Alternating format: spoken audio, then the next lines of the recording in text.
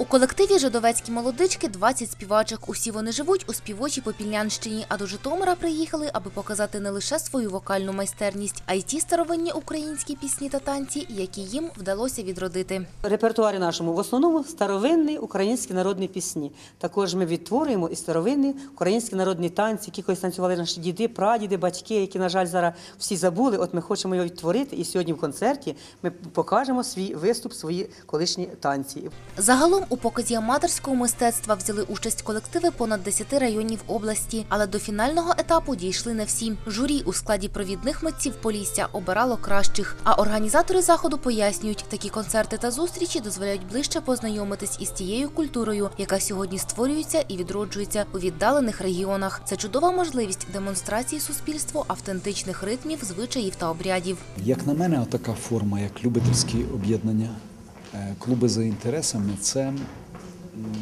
ну, якщо хочете, серед всіх форм роботи в клубах, будинках культури, це одна з найпрогресивніших форм.